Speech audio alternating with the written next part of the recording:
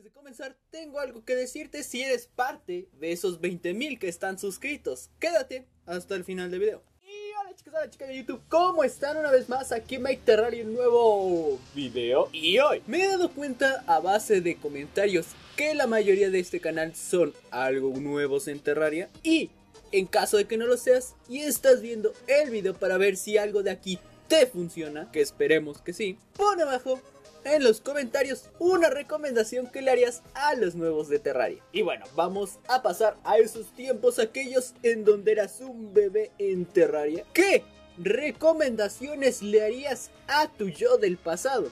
Empecemos con este video que son 8 cosas que debes de saber para jugar Terraria. Empecemos con el número 8. Esto es quitarnos un prejuicio por el cual llegamos a este juego. Que no es Minecraft 2D. Muchos llegan con la mala recomendación de un amigo de... Así, ah, bro, el Minecraft 2D, lo mismo, pero más barato. Oh, gracias, mi estimado, lo tomaré en cuenta. Sí, luego vamos a jugar unos Free Fire. No, amigo. Ese error igual lo cometió tu servidor y es de lo peor que puedes hacer. Porque ya vas con un prejuicio de Minecraft a este juego. Minecraft es un juego de supervivencia enfocado a la construcción, sin ninguna línea progresiva que te incite a mejorar tu equipamiento más que por pura vanidad. Y Terraria es un juego donde debes mejorar constantemente tu equipo si es que quieres sobrevivir en el juego y desbloquear todo su contenido. Lo único que tienen en común estos dos es que son survival. Podría hacer un video entero explicando las diferencias de cada uno, pero resulta que pues ya existe uno, que te recomiendo enormemente después de ver este video. Aunque eres un hijo de puta que te vas a ir a verlo sin terminar este video. Así que te dejo el link en la descripción para verlo. Después de que veas este video. Y bueno, pasando a la siguiente recomendación, esto va a depender mucho de qué versión tengas. Si eres de la 1.3 para abajo, te servirá. Y si eres de PC legal, lo siento mi amigo, esto lo acaban de parchar. En Terraria no es necesario minar tanto en pre-hard mode. A ver, a ver, muchos ya deben de estar sacando espuma por la boca diciendo ¿Pero qué dice este hombre? No tiene puta idea de lo que hice, ¿cómo consigo accesorios y el inframundo? Que es lo mismo que en hard mode necesita mitad, pero primero, tranquilo. Segundo, explorar el subsuelo y los biomas subterráneos no es lo mismo que minar durante dos horas, pecando pura piedra y plomo sin encontrar nada. Solo se explora en Terraria para encontrar accesorios y una que otra arma de por ahí. Pero los mejores minerales y armaduras que te vas a poder hacer están en los jefes. El meteorito, básicamente estas armaduras de ores del pre-hard mode están de relleno. Y bueno, antes de entrar al hard mode, pescas en el mar consiguiendo el pico de tiburón y listo. Te ahorré como 10 horas de juego a ti, mi principiante. Cuando caiga el meteorito vas, los minas a bombazos y fin. Te ahorré otras 5 horas. Repito, si es que eres de la 1.4, haz caso omiso a esta, ya que en la 1.4 se acaban de parchar todo este desmadre. Y ahora, si tú fuiste uno de los que dijiste, ¿qué verga es un hard mode? ¿Y cómo se come en Terraria? Se come con lechuga y aderezo de cilantro. Bueno, te explico.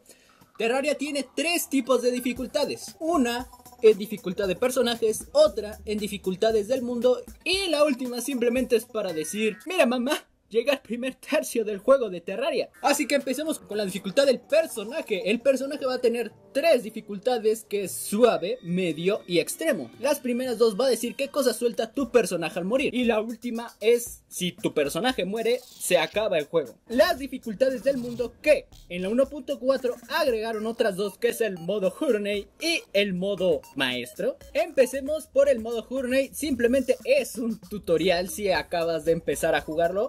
Así que te recomiendo verlo. Modo normal, un juego para pasarte el Terraria por primera vez. El modo experto para comprobar qué tan bueno eres en Terraria. Y el modo maestro ya es solamente un reto por pura vanidad. La verdad es que diversión, diversión ya no es tanta. Bueno, la última dificultad que es la de separación. Y bueno, esta dificultad nada más es para separar en dos el juego y la primera es para mostrarte de lo que va el juego. Y la segunda es cuando lo empiezas a jugar de verdad. Así que si nada más estás en este juego para construir y que se vea bonito tu mundo, quédate en la primera parte del juego por todo el tiempo que quieras. Y si estás en este juego por acción, pues pasa rápido a la segunda. Para terminar, respeta las malditas dificultades del personaje y del mundo. Si eres nuevo, prepárate que seas su perra en cada dificultad que pruebas. Terraria está hecho para que mueras muy, muy y muy muy seguido. Y no quiero el comentario que digan, no, no, no, es que yo me lo pasé en experto y sin saber nada del juego, es juego, es juego, es juego.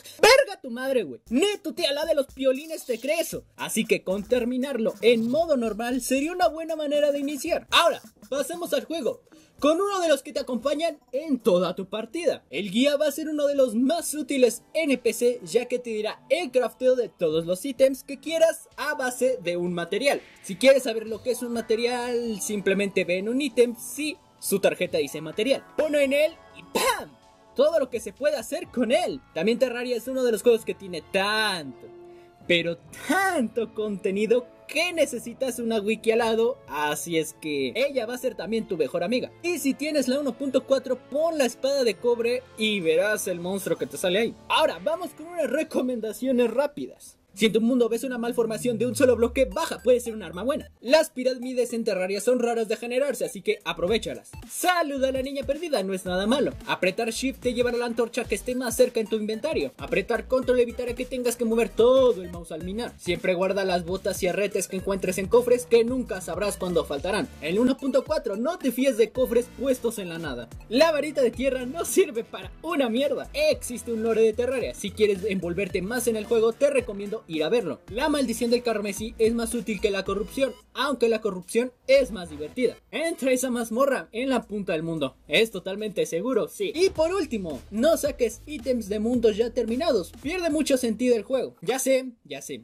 Se fueron más de 8 recomendaciones en este video, creo. Así que chicos, si tú no eres nuevo, deja acá abajo en los comentarios tus recomendaciones para que los nuevos en esto puedan guiarse un poquito de tu sabiduría. Así que para terminar, uno de los más grandes consejos que te puedo dar yo, relacionado con lo que te dije al principio, compra Terraria. Uno de los factores que más afectan a esta compañía y no solo Relogic es la piratería. Así que si está en tus posibilidades el comprarlo, créeme, valdrá cada centavo. Y bueno, para no hacerte más tedioso este sermón, ya que estoy consciente de que muchos no están en la posición de comprarlo, lo que te iba a decir se enlaza con esto. Ya que somos 20 min en el canal y creo que finalmente se está arreglando mi problemilla con YouTube al poder monetizar, ¿sabes lo que significa?